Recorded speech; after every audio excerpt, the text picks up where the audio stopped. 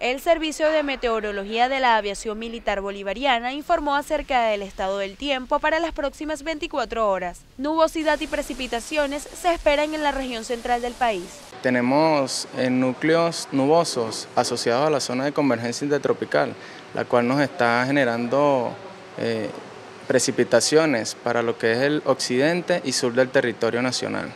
El resto del país se mantendrá de parcial nublado durante el periodo, incrementándose las, nubosidades para lo que respecta en las horas matutinas y nocturnas.